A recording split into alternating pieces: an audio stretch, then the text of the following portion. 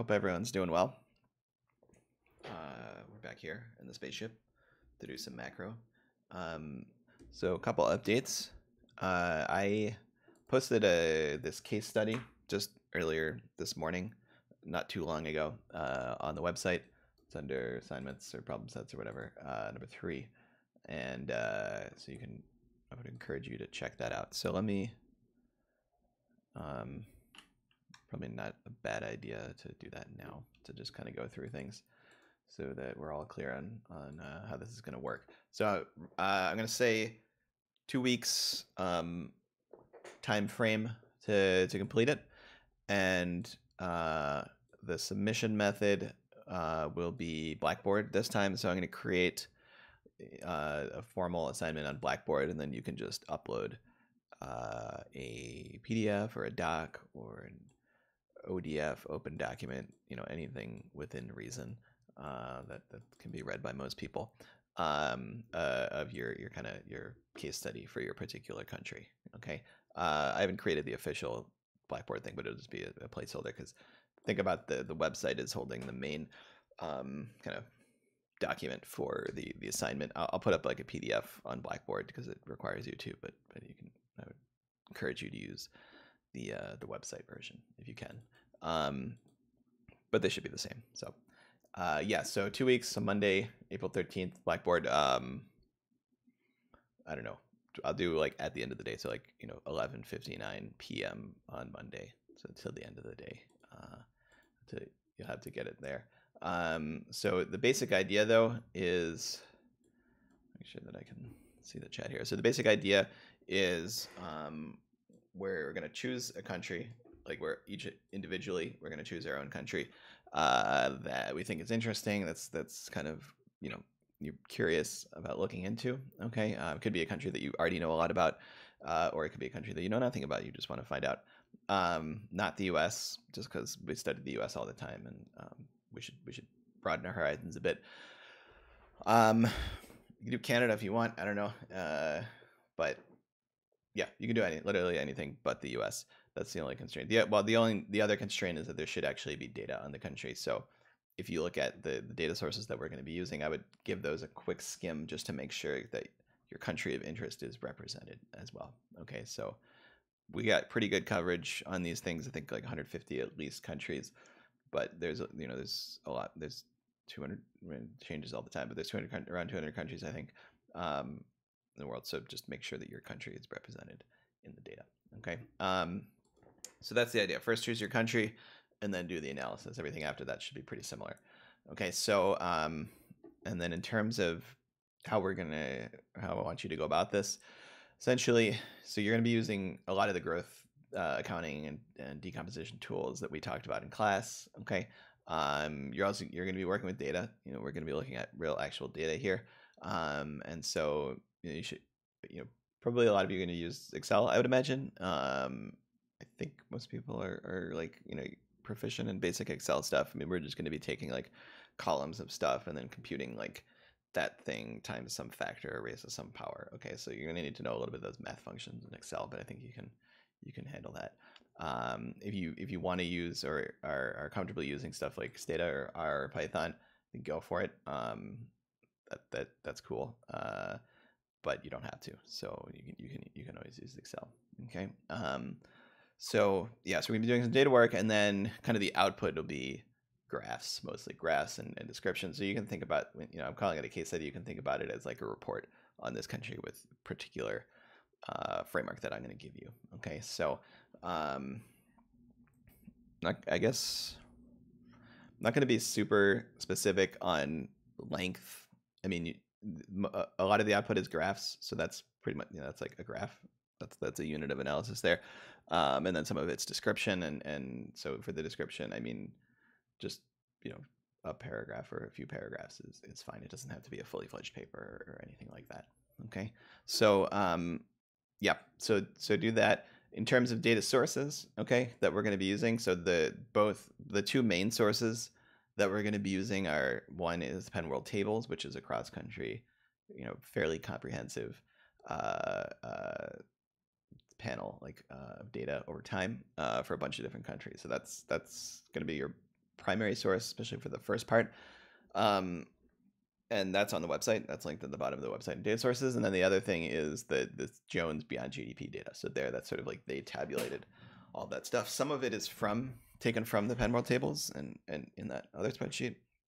Some of it's from like World Bank stuff on inequality, um, and then it's sort of like tabulated and, and stuff like that. So so they do a lot of the work for you, honestly, and you, you're kind of like looking in there and uh, seeing what's up for your particular country. Okay, so those that also that Jones Beyond GDP is there's an Excel spreadsheet with that linked on the website as well. Okay, um, yeah, that's pretty much it. And then in terms of what we're actually going to be doing, there's basically three parts. First part is growth analysis. Okay, so here I'm just going to ask you, okay, do this growth decomposition. Okay, so I'm going to give you the you need to do a little bit of derivation here. So I'm going to give you the production function. I want you to tell me like Okay, that's a auto translate. So I want you to tell me, um, you know, in terms of growth rate. So take the growth rate of this equation. You know, the growth rate of y is the growth rate of z plus alpha times the growth rate of k plus 1 minus alpha times the growth rate of l. So turn it into a growth rate equation and then calculate those growth rates in the data and show me, you know, okay, here's how the total output is growing. Here's how, you know, capital levels are growing. And you're going to have to look into Penn World tables and figure out what is the appropriate number for capital. Okay. I'm happy to give you pointers there as you get in more into the data. Um, and then the, the population, okay. Uh, and then plot those growth rates. Okay, so that's one um, thing you want, to, and you want to be careful about that. Should, I just want to give you a decomposition of what, how much each factor is contributing to growth, and I want you to give me that over time. So it should be like for part A for this main growth decomposition, it should be a plot with the growth rates of like output, population, capital, and productivity. You know, four different lines and showing me, or at least three those three constituent parts, showing me uh, how each of those are moving over time from year to year. Okay, so not just like beginning and end, but like you know every single year, or maybe like grouped into like five year periods if you want. So showing you how that changes over time. Okay, so that's that's that's going to be kind of a what a lot of these questions are going to look like variations on that. Okay, so part B, for instance, is do that, but then also add in human capital. Okay, so now human capital is going to give you more information. Okay, and that information is going to be correlated with other stuff like investment in capital, regular capital, and productivity. And so it's it's going to change. Not it's not just going to add into a series, but it's actually going to change the other series. Okay, because you're kind of like measuring things in a more detailed way, right? So seeing how that changes the way you look at this is, is the exercise here by adding this additional factor, which is human capital, which which here in Penn World tables it's not obvious, but you should look at the average years of schooling and just use that as a proxy for human capital. Okay. Um, then part C is is more like look at you know give me a historical narrative of the country in the past century or so and tell me how to you know how does that link in. So like if you were looking at the U.S., you would see essentially you know straight line productivity and then like Great Depression, World War II, and then sort of back to a straight line. So, so you would say, okay, look, well, there was a depression, there was a war where there's a huge ramp up in economic activity, and we see that reflected. Okay, so you can do something like that for your particular country. Okay. Um, okay, so that's the first part. That's sort of like doing our traditional growth decomposition. Uh, the second part is doing the Jones style beyond GDP welfare analysis. Okay, so here you're going to be taking that Jones Excel Excel spreadsheet from Jones and like kind of looking at these different factors. So you've got essentially the idea there is you're you've got GDP per capita kind of from the original data, okay, and we know we can that's that's also in the Jones spreadsheet, and you have these additional sort of factors which modify welfare. Okay, so life expectancy, the consumption share, leisure, and inequality, all these things that we work through and how to incorporate those. Uh, you can see those in the spreadsheet. Okay, so what I want you to do is take that and plot those, look at those over time. Okay, both in terms of levels for part A and then in terms of growth rates for part B. Um, it could be kind of cool if you link if you could link them back to what we see in part A, which is like the constituent parts of uh, GDP per capita, because you know these are really these are in some sense nested. The first part is like determining GDP per capita from different factors. The second part then is putting GDP cap per capita and welfare and adding in these additional factors. Okay, but they might all be related and correlated. Okay, so maybe just talk about why that might be. So A is doing it in levels, B is looking at growth rates. Okay, and this is stuff that is going to be you know based on you can look at the, the, slides for beyond gdp and see what we should be doing there okay and then uh, part c is again give me the the historical context for all this and tell me is the specific things you can identify or trends you can identify that are line up with historical events that seem to be related okay? Uh, and also tell me you know is this country similar to, to countries that are nearby geographically? Is it different? And what are the why is that okay? Um so yeah so that's number one i mean that's number two actually the welfare analysis with jones uh number three is more of a mini question it's not as complete not as like time intensive as the others uh which is basically looking into that inequality data from beyond gdp and sort of talk about what are the technological and political determinants of that okay so maybe you know, postpone some of your inequality analysis to part three and talk about that more specifically. Okay. Um, so uh, yeah, that's pretty much it. So know, but the final product should be basically a couple, you know, like four or more graphs in total, and then sort of like intersperse that with uh, discussion context from historical sources. Uh, I mean, you don't have to do. You don't have to like necessarily cite your sources as you would in like a formal paper. Just sort of like say, hey, you could say where you got it, but you, you don't have to do like formal citations. Um, you can use Wikipedia too if you want. I encourage using Wikipedia. So this isn't so much focusing on sort of that like um, sort of proper research, historical research, but more focused on sort of like getting these empirical facts from the data and then linking them with kind of broad trends that we see historically. Okay. Um, yeah. So then, yeah, that's the assignment. Uh, if you have any questions, let me know. Um, I probably, you know, give it a shot. Kind of give it a brief perusal relatively soon, just to kind of know what you need to do to prepare, make sure everything is in place, and then and then kind of do it, you know, over time. But I give it like a, just a quick glance at some point in the near future, so you, just to make sure you're on board with everything. Okay. Um, yeah. So that's that's it for now. Okay, in terms of the case study, that's on the website, and I'll create a, a formal Blackboard uh, assignment, module or whatever for for that. Okay. Um, alrighty, so I guess we can go back to the lecture now. Uh, we got a question here. Uh, would you want us to link our Excel sheets in our submission, or would the graphs suffice? I think um, the, as long as the graphs speak for themselves, I think just the graphs. So like yeah, like if you if you had an Excel spreadsheet that you're basing it on, then you of export the graphs into like a doc or whatever, and then put in the text there. That's perfect. You just give me the doc with the the graph, the graphs and the plots and, and the text interspersed. That's that's perfect. You don't have to show me all the the underlying numbers. Um, but but you know for the the one thing is for the plots. Yep, for the plots, uh, you make sure they're kind of you want to think about you know like what's the best way to present this information. Should I be doing it in, in logs? Should I be doing it relative to some countries? Okay, think about the best way that really conveys that information. Don't make them too cluttered. Don't have a million lines on there. Try and label the lines and stuff like that. Label the axes and all that.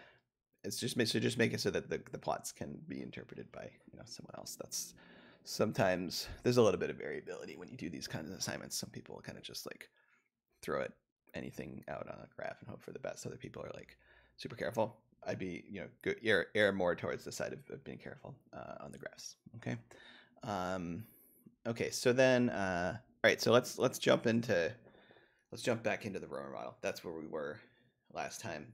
Okay, uh, that's what I have up on the slides here. Although I'm going to switch to the whiteboard in a moment. Okay, so but the basic idea, um, I'll go over the, the the essential constructs of the Romer model briefly, and then we can we can go back in. But the the process is going to be, you can see here, we have this. Um, well, let me just let me just jump into the to the whiteboard. Okay, so we got whiteboard three. Got hotkeys. All right, so um, this is the Romer model of Paul Romer fame. Okay, uh, so that let me so that that production function. Let me just write that here. Looks like this. I'll explain it as we go on. Okay, so it's the I. Did I use I? I did. Okay, so um, basically taking labor here, raised to some power, and then taking a bunch of these these different xi's, which are kind of like capital, right? Because they got the alpha there, like old capital, but we're integrating over a bunch of them, okay? Because now what's happening is we have, let's see if I can draw semi-straight lines here. And it's like a wedge kind of thing. It's like a pizza slice, but it represents aggregation. Okay, so we're taking a bunch of these different uh, goods and we're aggregating them to one final output. Okay, and then we're also sort of like L labors over here, kind of jumping in operating things. Okay, so and then these are like the X. This is like X1, X2, X3, etc. Okay, so um, and these are actually just capital. Okay, they're, you're taking all your capital and you're like distributing it amongst all these different firms. They're doing their thing, producing their machines somehow without labor, uh, and then we're ag- some other firm, kind of like a aggregating firm or a Walmart or Target, taking all that together, these gizmos and gadgets, throwing in some labor, some people that work there, and then uh, producing some final output. Okay, so that's the pizza slice right there that produces things. Okay, um, at the end of the day, you can see it's, it's capital and labor lead to output. So in some sense, it's similar to what we've been doing before, but we're adding in this microstructure where you kind of split that amongst different firms, then recombine it, recombine the output of what they do. Okay, so you can think about each of these as creating little gizmos that are you know useful to consumers. Okay, so um, and the reason we do that, or the reason we add that microstructure, is that we want to think about you know because there's actually a bunch of these firms. There's zero over here and A over here, and A is kind of expanding over time. So the, the, the set of different gizmos that we're making expands over time. Um, and that's growth, basically. That's what's driving growth. Okay, so this is an A. I'm going to be 100% perfect here. Okay, so the, that A expanding, set of gizmos expanding is driving growth over time. Okay, um, and so the, the reason we add the microstructure is we want to think about what are the incentives for someone to go out, sit in their garage and try and cook up a new idea uh, and then potentially enter as a firm and make their the manifestation of their idea. We want to think about their incentives to do that. Okay. Um, and, and that's why we need to break it up into a bunch of different people. Okay, doing different stuff. Okay, so um, right, and so then, uh, yeah, and so so basically, um, these xi's. Okay, so this is like aggregation of the xi's. Now, how do we produce these xi's exactly? Well, uh, we're gonna make make sure I get this right. So so the produ producing cost of producing xi is going to be r times xi. Okay, which is to say your marginal cost is just r. Okay, um, and what that essentially like you, you can think about it as r is the interest rate okay and uh, you are renting capital okay you're you're renting you're, you're like here's all this capital someone owns that doesn't really matter who you rent it from them to produce and then that makes a certain a certain amount of xi so you rent xi capital and that produces exactly xi in goods it's like a one for one production technology okay um, right? So then your cost is going to be R times xi, and your, your marginal cost for any good i, regardless of what i is, is going to be R. Okay, so just think you're like renting machines to produce today, and you keep doing that every day or every year. Okay, um, okay, and so that's that's how production works. Now, um, now we can start thinking about um, pricing, markets, equilibria, and, and all of that stuff. Okay, because this is just a physical description. Okay, uh, although we have some cost component here, but it's basically a physical description. Now I think about what would a market look like because we actually need to be specific about that. So, um, okay, and so this is kind of the road we started on last time. Okay, and there's there's there's two steps. The first step is to figure out that demand function. Okay, so essentially, you know, given some price, we want to figure out how much that aggregation firm is going to buy, right? So these firms set a price PI, they that induces some demand XI, and then they can figure out how much they're making, how much money they're making, given that choice. Okay, so uh, so we did this last time. Okay, what you're going to get is you know price. Um, oh, okay, so you, you can think about it like this. So the uh, the the profit, okay, of that final good firm. Uh, let's okay. So the profit of that aggregation firm is going to be y whatever they produce at the end minus however much they're spending on all these different inputs. So it's going to be pi times xi. So like each xi, they buy xi, they pay it price pi, and then they integrate the, over all of the stuff that they're buying. Okay, and so um, if if you take a derivative of this with respect to xi, you're going to maximize over xi and set it to zero. So you'd say like zero is equal to del y del xi. Okay, sorry, that shouldn't be the marginal product for xi minus what's the derivative here? Well, you just get pi because it's only for one particular. Okay, so that's zero, which means that marginal product is equal to price. Okay, so that's a standard result in uh, in any setting really in economics is that marginal price is equal to marginal product. Okay, um, and we can you know we know what y is we can we can calculate that. Okay, so that means that you know well, let's just invert it. So price is equal to marginal product, which is equal to what? Well, it's going to be just moving off of this. We're going to L to the 1 minus alpha. And then the derivative is just going to be alpha xi to the alpha minus 1. Okay. Which you can reduce to well, alpha times L over xi to the 1 minus alpha, just combining those terms. Okay. So this is our this is our inverse demand function. Okay. Um, right, and the, the way the way I'll write it is just like I'll just of drop the i's and say like p of x is equal to alpha times L over x to the one minus alpha. Okay, so you watch out for my head there. Okay, so you're gonna get um, this inverse demand function saying, okay, if you want to sell x, the price you're going to be able to fetch is p. Okay. Um, and that you know, obviously is the more you want to sell, the less price you can charge because you know, decreasing marginal utility or whatever. Okay, so so that's that's our p of x. All right. Okay, so that that's saying given how much the this aggregation firm is demanding, what's our what's our inverse demand function? Okay, or like given the aggregation firm's production function is, what's our inverse demand function? Okay. Um, now we want to think about the intermediate firms. Okay, so remember there's two actors in this setting. Okay, there's uh, the aggregation firm, which take the xi's and turns it into to final good. Then there's these individual firms which take xi, which which produce the xi's themselves. Okay, so these little individual firms here, we're gonna think about them. Okay, they're facing this this inverse demand function p of x. We're gonna think about what their problem is. Okay, so this was like the aggregate firm. I'll call this the aggregating firm. Okay. And this is going to be intermediate firms. Intermediate firms. Okay. That are going on here. Are two different, two different problems that we're going to be solving. Okay. So now the intermediate firms, think about their profit.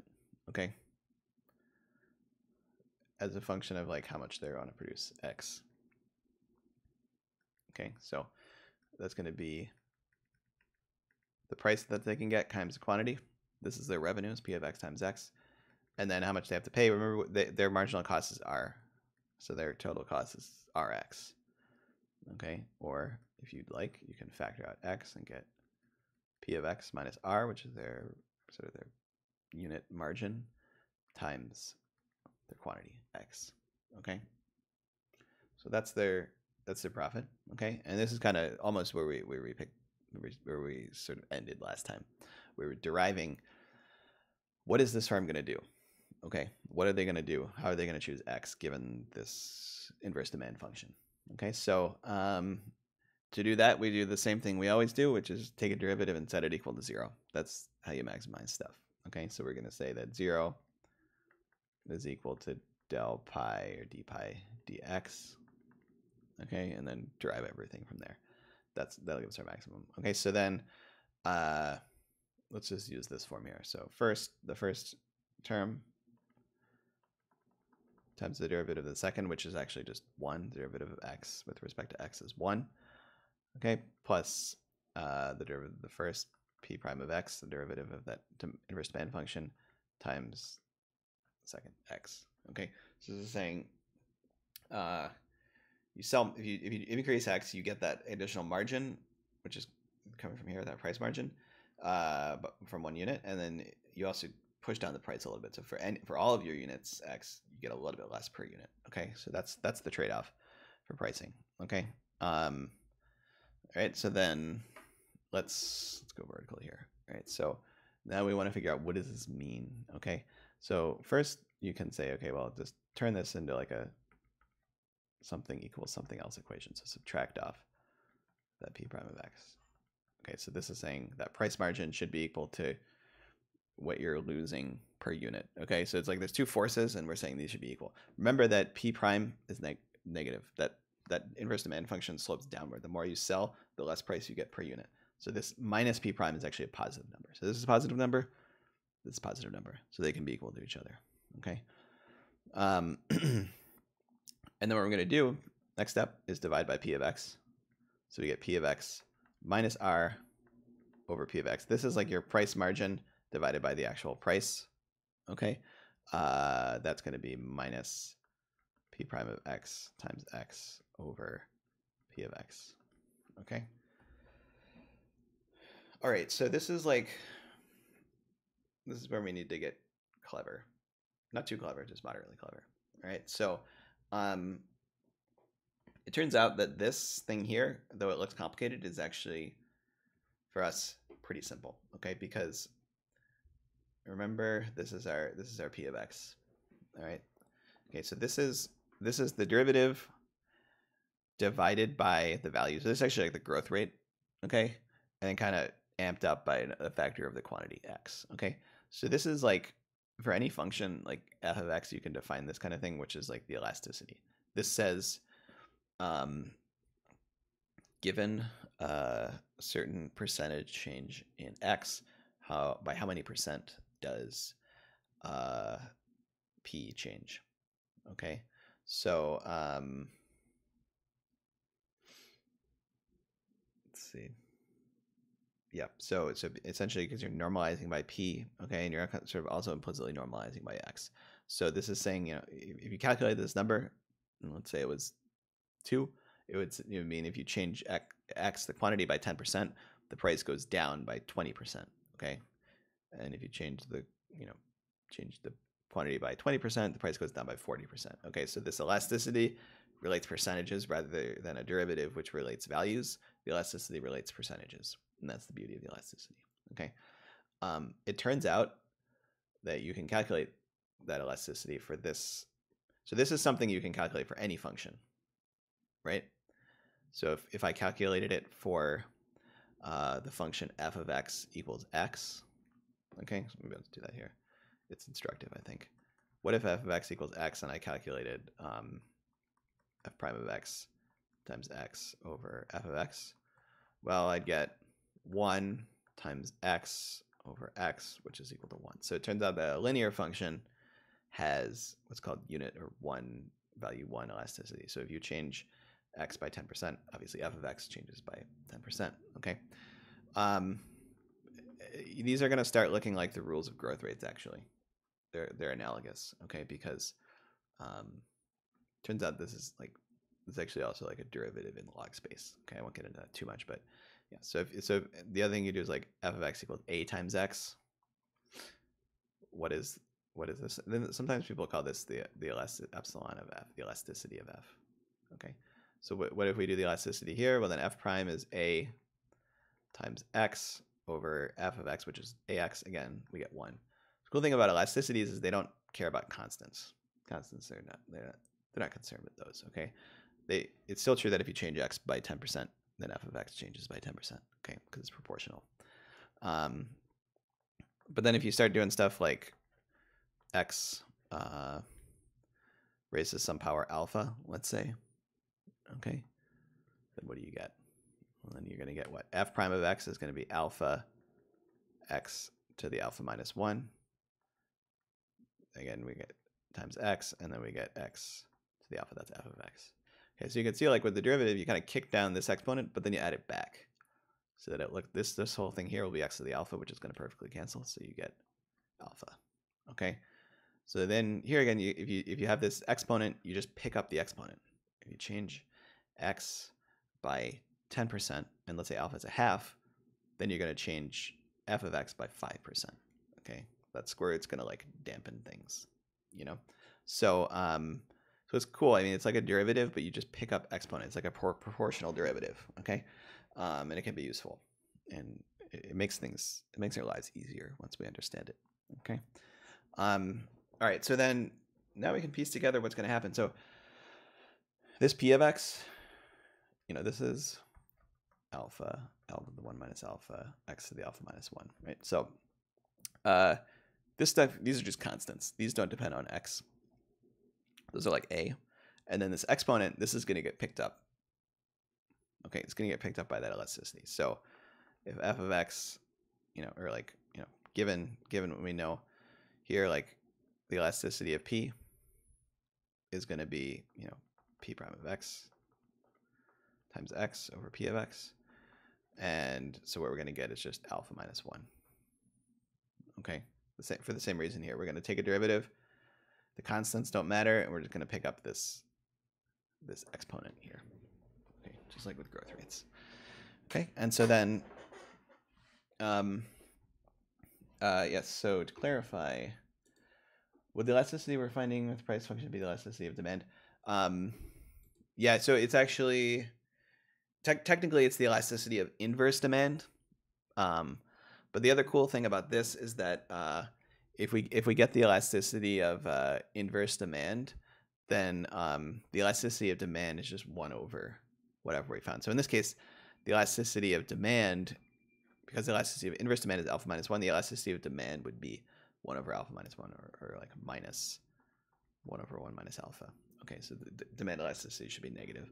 So um, so uh, yeah, so you get you, you can actually just get it with a one over one minus alpha. Another way to think about that is if you start here and uh, you flip it around into a demand function, right?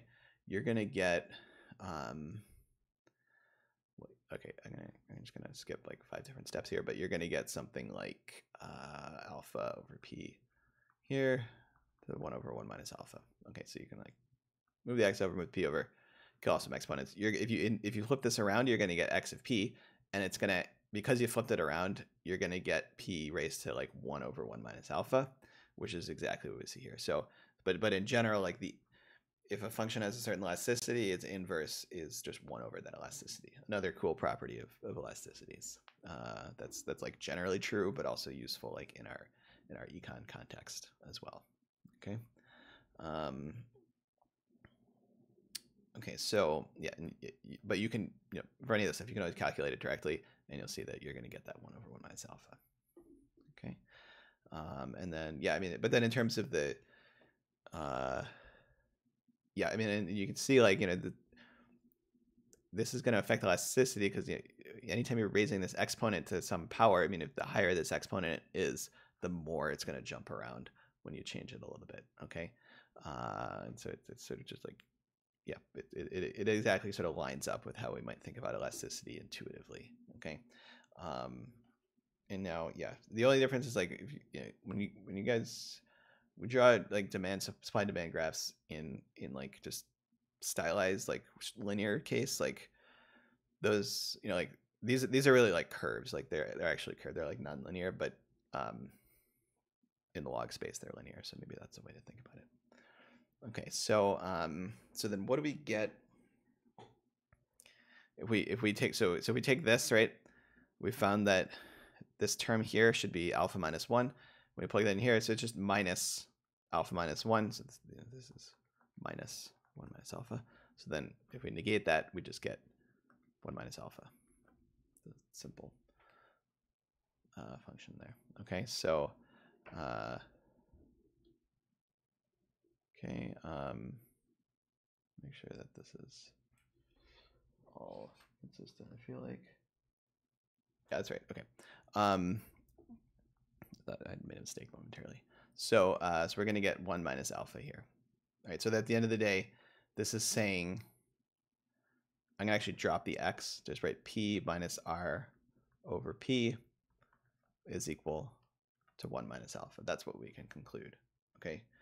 And that's kind of cool because, you know, in general, like you have x's and p's floating around and it's, and it's not clear how to solve the equation. But here we just have price, okay? We, we, just, we can just solve this for what the price should be, okay? So, um, so let's do that. So first you can see if you divide the P3, you're going to get 1 minus R over P equal to 1 minus alpha. Okay. And if you just kill off those ones, then you're going to get, you know, R over P is equal to alpha. Okay. And then uh, solving for P, well, you just flip the P and the alpha, you're going to get P is equal to R over alpha. Okay, so this is kind of our main result here. Okay, P is equal to R over alpha. Okay, so let's let's inspect that a little bit and see what it means. Um, so so you know, and another way to say this, which is which is in normalized terms, P over R. What is P over R? That's price over marginal cost. That's your markup over marginal cost. If you're in a competitive setting, this should be equal to one. Okay. So P over R is equal to one over alpha. Okay. So um, that's that's that's I think the most succinct way to say that your markup over cost is one over alpha. Okay. And remember alpha, where it originally shows up, sort of its core meaning is is well, it has two meanings. It controls the labor share and the capital share, but it also controls how easily easy you can substitute between these goods. Okay, so if alpha is one, okay, the x's are like perfect substitutes because because if alpha is one, you're just adding them all together, and you can increase one and decrease the other by the same amount, and this, you have the same outcome. So um, when alpha equals one, they're perfect substitutes. You can see when alpha equals one here, price equals marginal cost. Um, so that that makes sense because if they're perfect substitutes and I increase my price a little bit, everyone's going to bail on me and go consume the the other goods which are perfectly substitutable. Okay, and I have no market power. If you go to the other direction where alpha is zero, they're not substitutable nearly at all. I have a lot of market power. You essentially have to buy my good to survive. Uh, and so, um, or it's like really valuable to buy my good. Um, so I can charge a lot. Okay, so it controls the level of monopoly power that uh, these firms have, and it also and hence it controls the prices that they're going to charge. Okay. Um, and and so alpha, but it, alpha is a technological parameter. Okay, it's a it's just a property of goods and utility production. Okay. Um, all right, so this is important. Okay, and from here we can pretty quickly get to levels of profit. Okay, so so that was this is like solving for the price, and now we want to think about um, profit. Okay. So let's do that. Okay, so what is profit? Uh, remember, profit was pi is uh, uh, px minus rx, which is p minus r times x. All right. So here we're going to try and be a little bit clever, okay? Because um,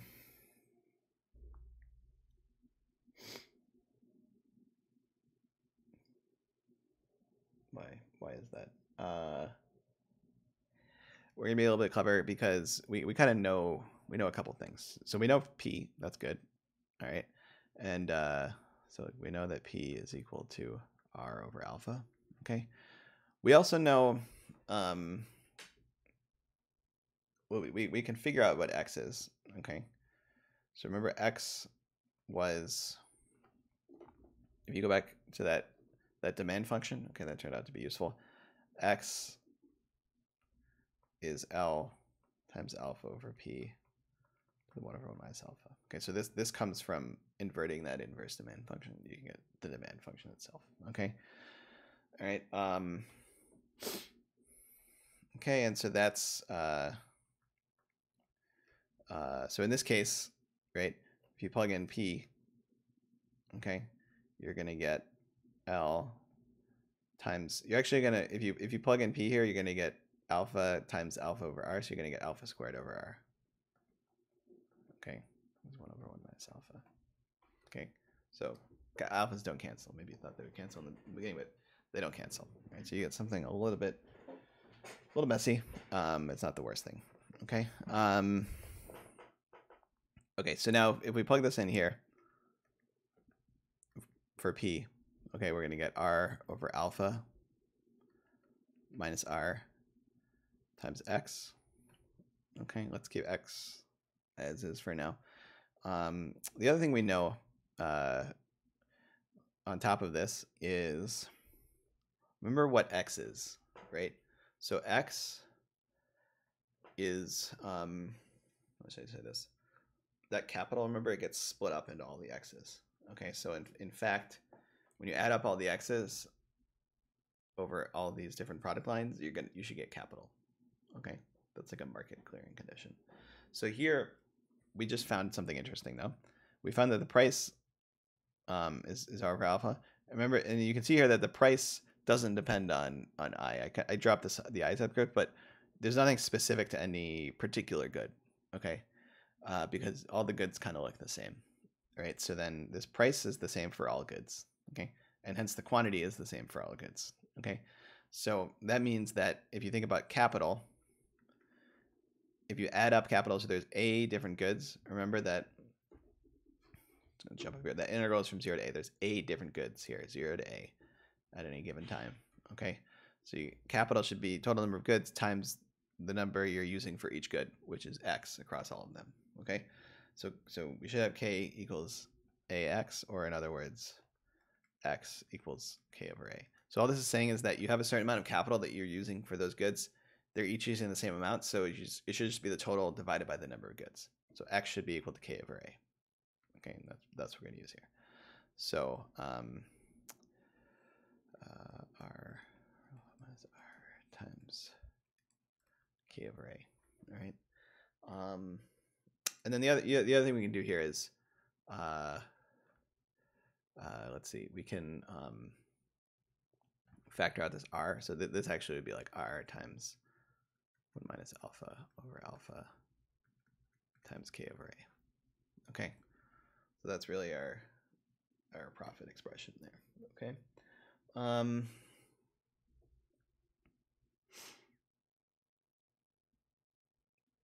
okay, so that's that's good. Okay, so so that, we're gonna have a lot of moving parts here. Okay, so so this is where things get a little bit wild, but then they kind of converge at the end and, and aren't too crazy. Okay, but but um, I guess we should. At the end of the day, the useful thing that we just found was was basically what profits look like. Okay, and we're going to keep that for for later. Okay. Um,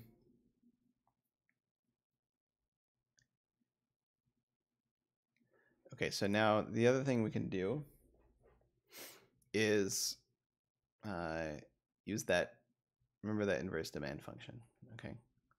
That said that P is equal to alpha times, what was it again? L over x, the 1 minus alpha. That's that old p of x, that inverse demand function that we had from before. Okay, uh, we can we can use this too. Okay, um, given that we know p and we know x is is now k over a, we can use this. All right. So what does this mean? So P is, remember we found was R over alpha. Alpha, okay. And then L, and then X we're saying is K over A. So it's K divided by A here to the 1 minus alpha. Okay, so this doesn't look super useful, but actually let's keep rearranging it and see what happens. So this A, this over A should, we can, that, that's actually on top. So that's like AL over k to the 1 minus alpha. Okay. So that's that's starting to look like something that we've seen before. Okay. Um, uh, in fact, you know, we, we often like when we were doing Solow stuff, we would see that y you know, that, that k over al was related to y over al in particular. Okay, so we're going to see that. Um, okay, so but at the end of the day, we get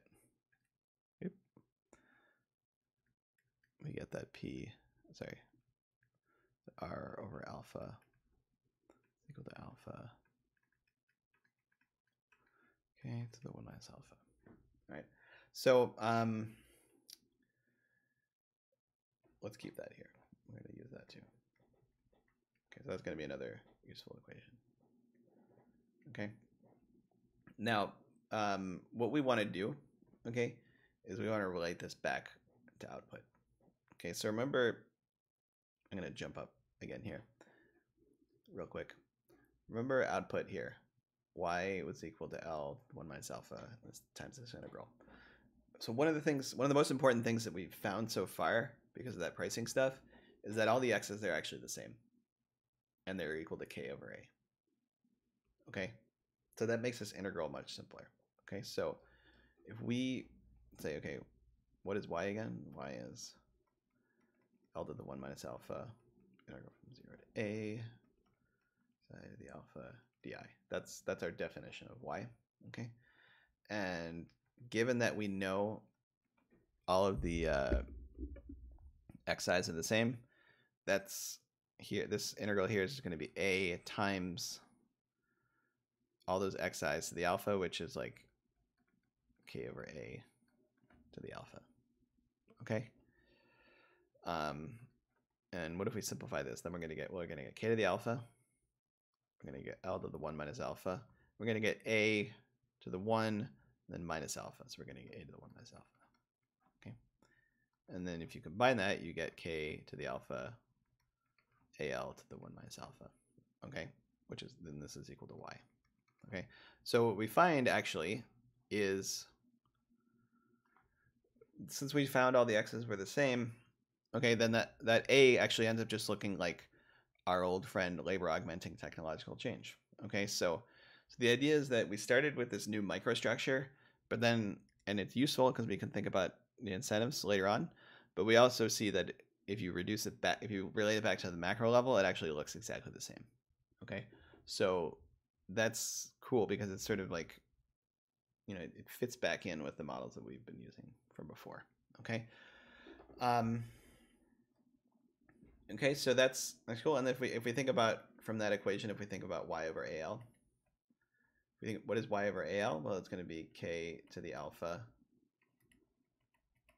al to the minus alpha, which is k over al to the alpha. Okay. Um, okay, and so then let me where are my notes here?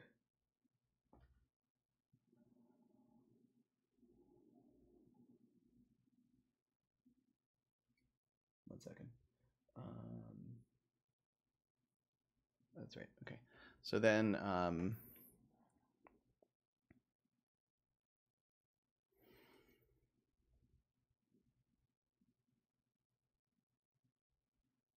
let me just make sure I know how to proceed here.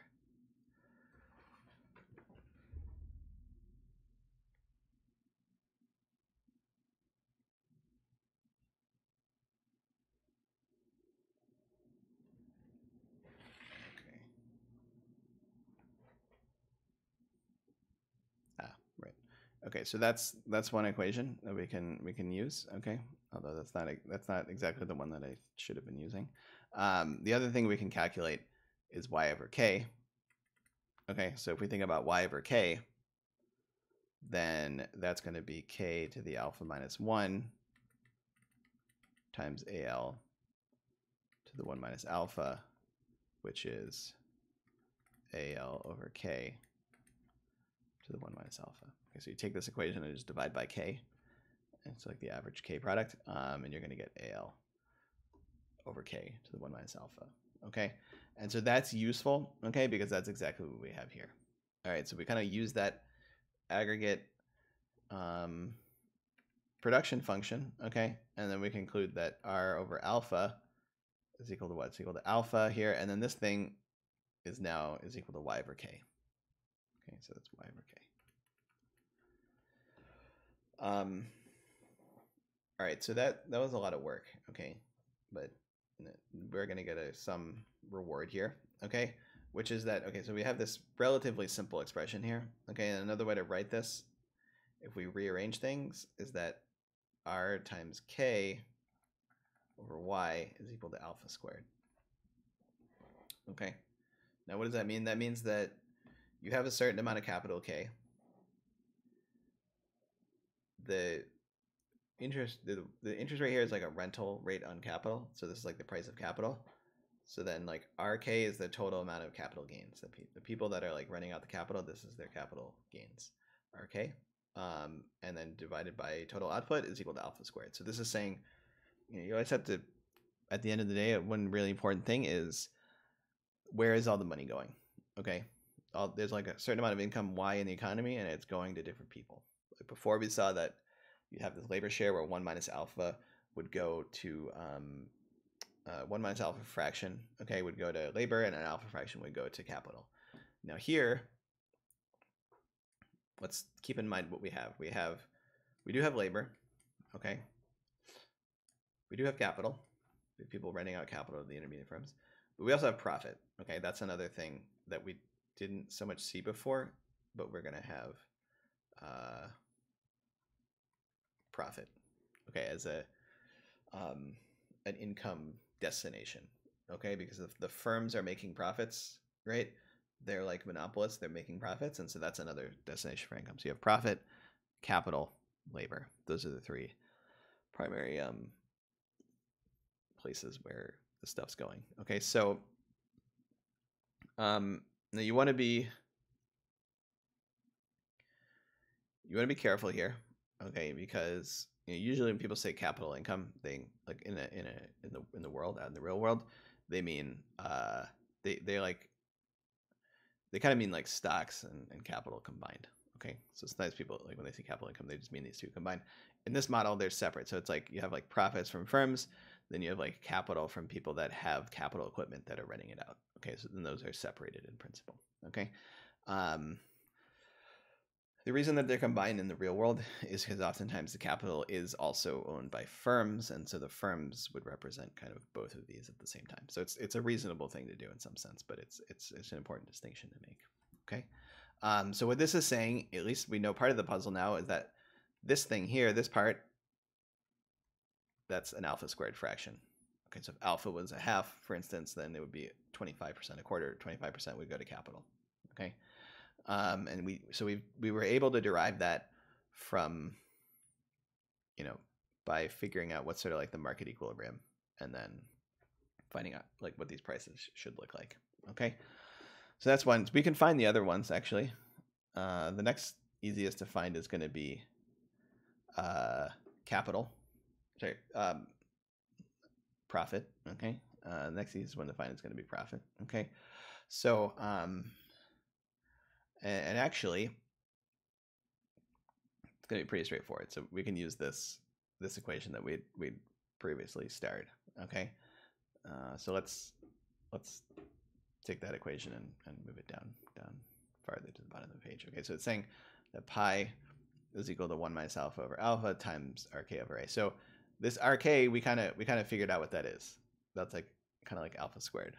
Okay, so then that's going to help us out quite a bit. Okay, so let me rewrite that equation down here. So pi is equal to 1 minus alpha over alpha times RK over A.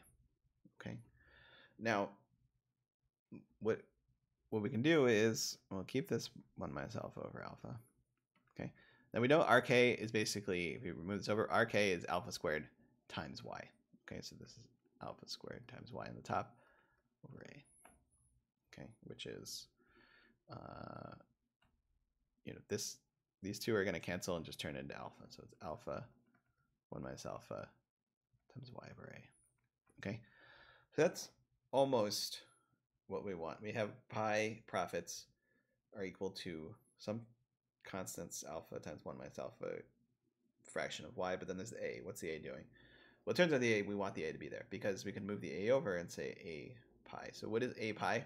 Remember, pi is pi is the profit for one firm, but there are actually A of these firms out there. Okay, so the total profit is is actually A pi. So it's good that we have the A. Uh, and that's going to be equal to alpha times 1 minus alpha times y. Okay, and that's this here. So this is alpha times 1 minus alpha. Okay. So it's not as simple as before where you just have alpha and 1 minus alpha because now we have three different sources. Okay. But if you take that Q from the real world and say, well, what if we combine capital and profits into sort of like our notion of, you know, firm, total firm activity? Uh, well, what, what is that? That's alpha squared plus alpha times 1 minus alpha. Well, th this is just alpha minus alpha squared. So at the end of the day, this whole sum here is just alpha. Okay.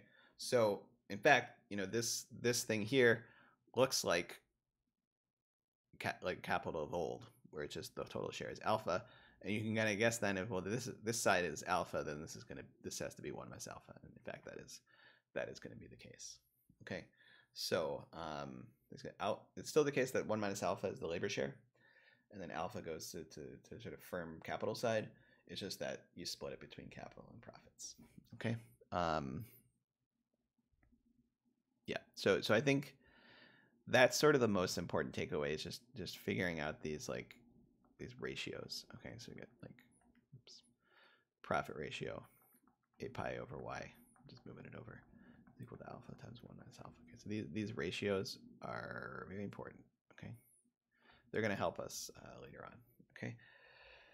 Um, yeah, and then you can derive if you find WL over Y, that last component, we will be able, we can we can derive that later. We can see that that's going to be one minus alpha. Okay, so at the end of the day, all these things add up. That's important. Okay. Um. All right. So that was. Fortunately, there's no like easy way to derive that stuff. You just have to kind of slog through it. Okay. But at the end of the day, you can get these sort of like top line numbers and figure out where the income's going. Okay. Because essentially like all the assumptions that you make about how do markets work are they competitive are people monopolists that determines these outcomes it, you know so like the more kind of in some sense the more monopolistic uh, the firms are the higher the profits are going to be okay um, and capital as well and and so that's going to sort of mediate these things okay um, all right so now now we can kind of go that was like phase one okay and now we can we can go on like phase two. So so but this what this gave us though is it gave us the following if we go back to our market diagram here a production diagram. So essentially it's saying okay we have this production system wherein we take capital it a bunch of a bunch of bunch of monopolistic firms. They make stuff and sell it to an aggregator and produce output okay with labor. Um, now we've figured out like you know what's going how, what fraction of that output goes to capital? What fraction of that output goes to labor? What fraction of that output goes to the, these profits accruing to these individual firms okay?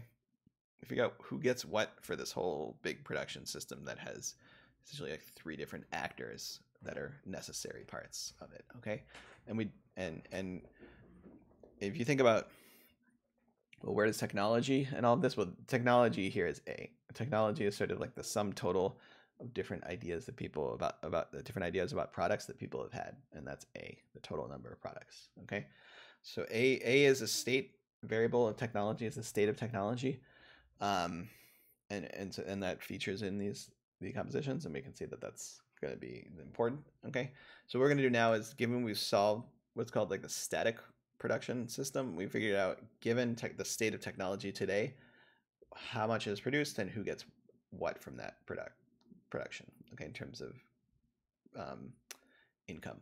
Okay, so the next thing we're gonna, the, and really the final thing we're gonna do is figure out, well, what are the incentives to increase A?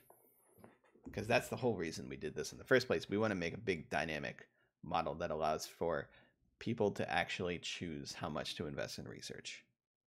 Okay, rather than just assuming that research happens magically and and, and it lies in Solow. Okay, so the way we do that is we say, okay, well, we kind of know we know that like these these folks here are making pi profits. Okay, like every year? Every year they make pi profits without fail, basically. Okay, because they're monopolists. Now, um, firms when they make research and R and D decisions, or really anyone when they make these kinds of decisions, uh, they don't just think about what they're making today. They, they think about the the net present value of what they're making. So we're going to call that V. So they're going to convert that into something like a net present value. They're going to use the interest rate to do that because that determines like how they discount the future. Okay. So they're going to convert profits into like a net present value. This would be more like if this is like your, your profit, like financial profits, EBITDA or whatever. Um, this would be like your stock price, right? V would be like a stock price. Okay. And that, that'll be important. So, so think about V as a stock price. Now, the, the total value of the firm. Actually, sorry, V. You should think about if if you want to be real proper about finance here. You should think about V as the market capitalization. Okay. Or you could think about it as the stock price if there was literally only one share. You know, so market cap is really the best way to interpret this. Okay. So then that's how the, so when they're making a research decision, the the what happens is they they do some research, sit around and fiddle around with stuff. Um, and if they're successful, they create a new product, add another A to the end here. They start producing that. They get pi every year. And in terms of present value, they just get like V today. Okay. So they're trading off using their time to do research as a cost. And then the benefit is uh, getting potentially um, a new idea that you can turn into a firm and make V dollars in net net present value terms. Okay, um, that's one thing they could do. The alternative, uh, yeah. So the alternative option for them would be to be a production worker, to be to to be L. Okay, so like you could either be R and try and go after that return, or a researcher, or you could be a production laborer.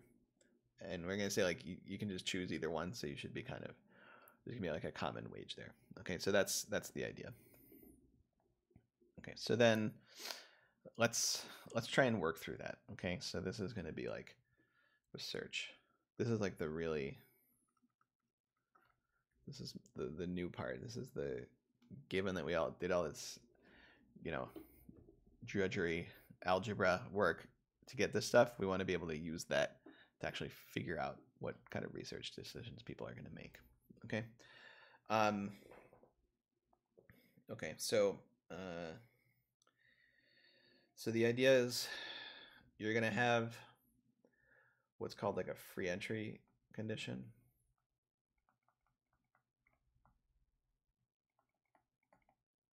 Okay, I'll explain that what is what that is. So the idea is is this choice. You can choose between being a production worker, in which case you just get like for sure a wage W. Okay. Uh, so that's production. Production worker. Or you can do research versus research. So it's um, research is risky, but actually we're gonna kind of assume away any of these risk. We're gonna assume people are kind of risk neutral. So the idea here is if if you do research, okay, um, what's your return? So like we're gonna assume some probability that you succeed. Jones called it theta bar for reasons I'm not entirely sure on, but I'm gonna stick with what he writes and call that theta bar. Uh, that's the probability that you succeed Okay. And then uh, V is the benefit that you accrue if you succeed. So, I mean, the, the expected benefit is the probability that you, you come up with an idea times that value of getting the idea, which we'll call V. So this is like the expected benefit of doing research. Okay. And this is the expected benefit of doing being a production worker. It's risk neutral. You just you go to work, you get wage W. Okay. Um, no unemployment or anything like that. But yeah. Um, so what what should be the relationship between these two? Okay. So given that I said that we should be able to choose freely between these two, it should be the case that in fact that they're equal. Right? Because if one of them was greater than the other, then kind of everyone would just do one thing and not do the other. we want to have people doing both production and research. You got to have both to keep the economy going. All right. So to, to, to do that, you need to be exactly at this point where these two are equal. Okay. In general, of course, it takes education to be able to do research most of the time. Uh, so if, if you made a richer model where you had to pay for it costly education to do research, you'd say that this should be higher to compensate for that cost. But here we're saying you can just, you know, you can say you're on the factory and then boom, you're gonna like actually I'm gonna do research now, um, which happens sometimes. I mean, not not all research is like you gotta have a PhD or something to do it. I mean, you know, like Apple, I think Steve Wozniak and all that, they were they had you know probably bachelors or something, maybe masters uh, degrees, and they just kind of fooling around in their graduate stuff. So um, so maybe this isn't the worst assumption. Okay. Um, so the idea is you should have equality between these two options to make sure that both actually happen. Okay. Um, okay, and that's that's actually um, gonna get us most of the way. Okay. This is one little thing that we have to worry about, which is uh, what is value?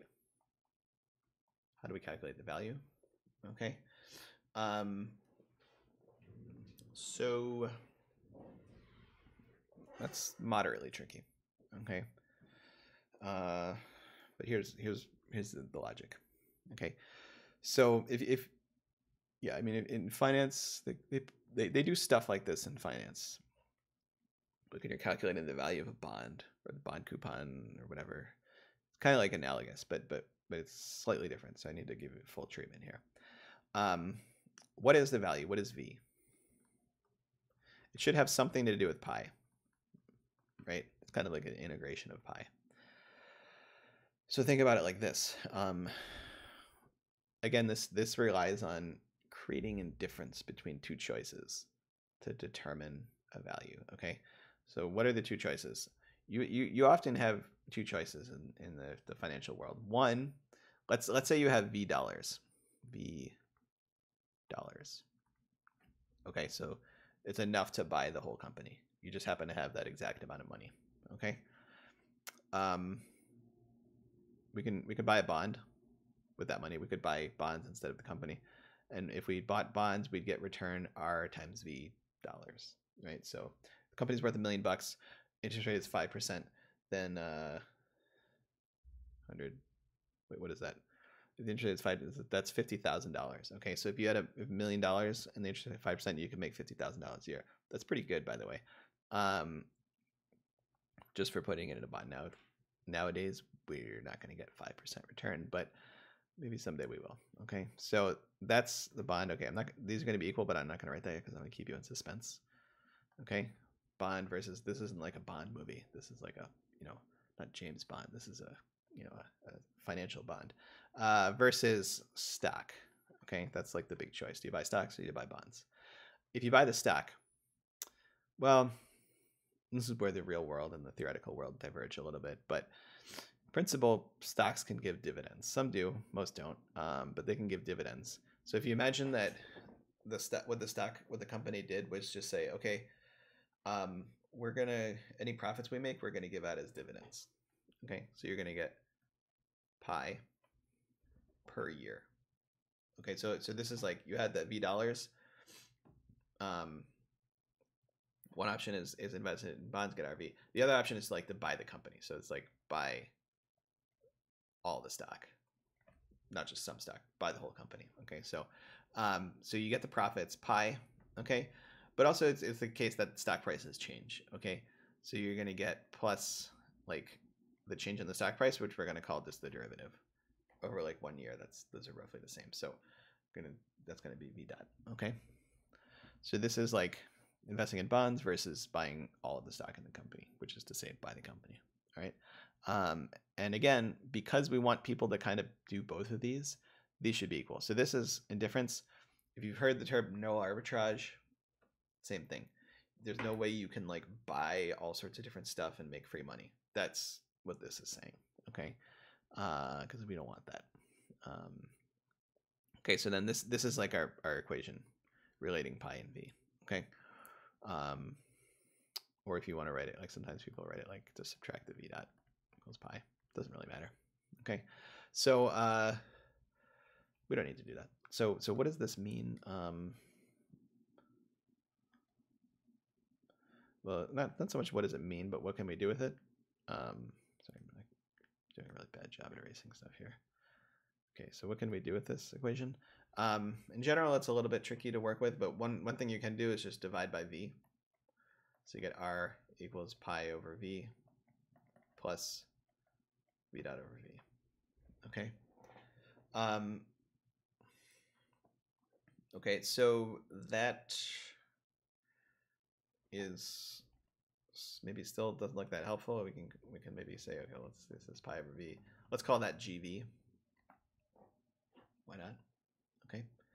Um, this game's kind of like a shell game, but then what you can do from here is actually solve for v.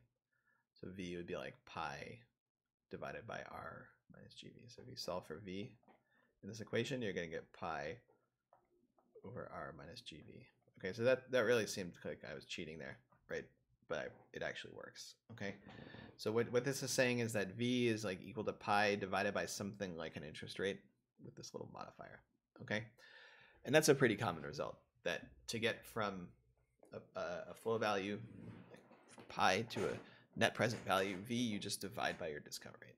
In this case, it turns out our discount rate is r minus gv, okay? The other thing that means is that um,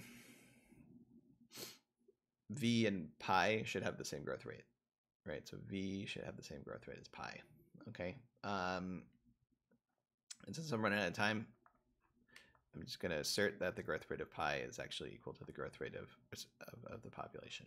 And, okay, we can go into that later, but it's, it's going to be true. Okay, so at the end of the day, v is pi divided by a thing, r, r minus a discount rate of some sort. Okay, um, and that's what we needed to know. All right, so, uh, and then finally, we can plug that in here, right? We can say that w should be equal to theta bar times pi or r minus n. Okay. So now we're, we're kind of nearing point where we actually know what's going on. Okay. Because we have this equation, which is going to tell us what, what is this going to tell us? I mean, what is left to know? The main thing that's left to know is um, how many people are doing production? Production?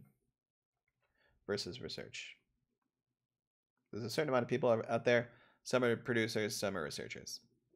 That we don't know. That's going to be determined by this. Because essentially um this is this yeah once we plug in everything this is going to be an equation that's going to tell us how many people are doing production and how many people are doing research. Okay. So what we need to do is plug in what we know about uh, W and pi. Okay. So we're, we're like really short on time here, but I'll give you like the first step and then I'll leave you in suspense as to what the outcome is going to be. Um, so we plug in for W, we can use this, right? So W is going to be, if you, if you arrange that, 1 minus alpha times y over L. Okay. And then pi, you can do the same thing. Pi is going to be alpha times 1 minus alpha times y over A.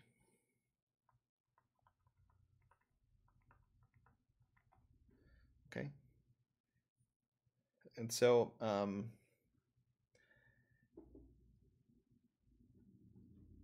all right. And so then from here, we can cancel the 1 minus alphas. We can cancel the y's even. So we're going to get 1 over L is equal to theta bar times alpha times 1 over A.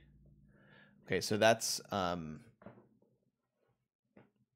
that's pretty simple. Okay. Um, now, this is, yeah, I don't know. We're, we're kind of low on time and there's a few more steps that I have to execute here. Uh, yeah, um, I got it. I think I should stop it here. Okay. So we're to be able to get to, at the end of the day, we're to get to what? We're to get to something like uh, R over L. What's the fraction of uh, the total population that's doing research? Okay. So like in the US, That's like 0.5%. It's pretty small, actually. Um, in terms of people, total fraction of people that are doing research, like 0.5%. We're going to be able to solve for RVL. I'll, I'll show you next time, okay? But we're out of time today. Um, and that's that's like our main variable of interest, okay? So, um, all right. So I think that's that's it for now today. Um, you know, just remember we got that homework out. That's up on the website. Um, I check that out. Give it a quick look through soon, and then start working on it. You know, when you get the when you get the chance. okay, now I'm like losing my voice.